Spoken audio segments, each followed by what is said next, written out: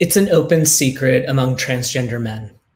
After coming out as trans, many of us develop an attraction for other men. While a lot of folks seem to suddenly be aware that trans men exist, I've been making films about us and for us for nearly 20 years. Hi, I'm Jules Rosskam, an experimental nonfiction filmmaker and film professor.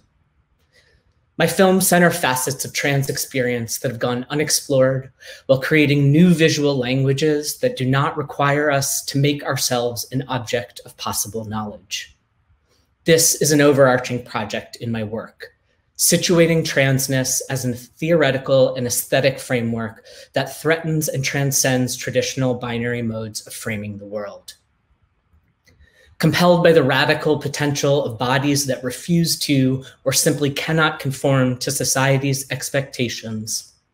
My films have addressed the experiences of transgender men who bore children, the dominant constructions of transmasculine identity and the nature of community,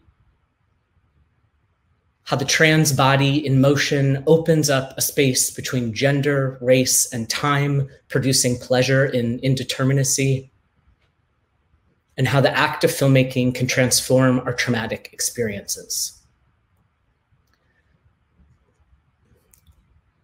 I value and prioritize the people who participate in the filmmaking process over whatever that process might produce. And I come to this work as a space of mutual discovery, not extraction.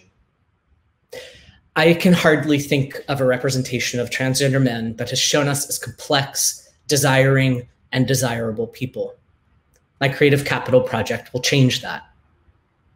Currently in the development phase, Desire Lines is a feature length experimental nonfiction film that issues a radical reframing of transmasculine sexuality through a collage like approach using sit down interviews, erotic encounters, observational footage, performed scenarios, and historical fiction.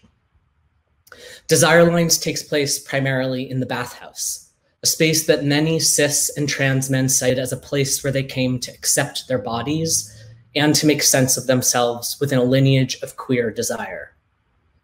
The film takes the bathhouse as a central hub, a place where we meet for sex and community, where early AIDS activism emerged, where disparate people and ideas could coalesce and transform reading backward through the archive, the film reimagines this past through the lens of transmasculine desire, writing us back into the history from which we are continually erased.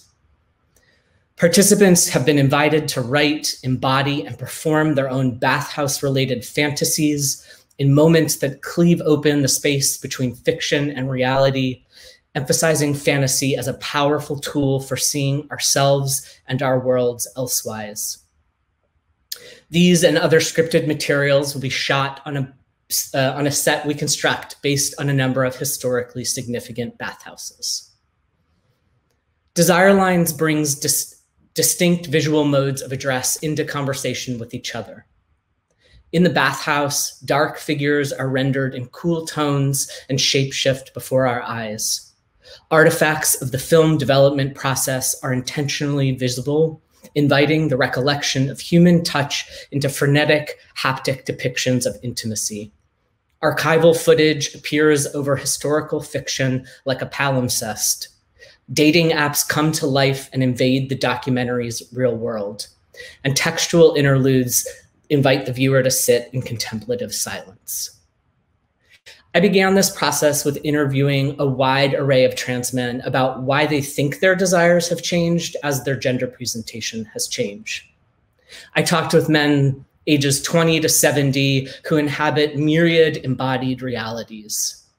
Currently, I'm involved in archival research around bathhouses, and over the next six months, I will continue my interviews with community activists, epidemiologists, sex workers, and queer historians. With filming complete by the end of 2022, we're aiming for a 2024 festival premiere at Berlinale, Sundance, Art of the Real, or another venue you'd like to introduce me to. I am super pumped about making this film, which frankly, I have been thinking about making for almost 20 years, but I can't do it without more support. I am especially looking for a trans identified co writer with experience in fiction film, as well as producers. Perhaps someone knows Elliot Page and wants to introduce us. I think he'd be interested in the film. I'm also looking for a space in or around New York City to build our bathhouse set and film in during the summer of 2022. On a final and separate note, I'm working on building an artist residency and mentorship program in upstate New York for other trans artists. So if you know anything about that or you want to support those efforts, I'd love to chat. Thank you so much for listening.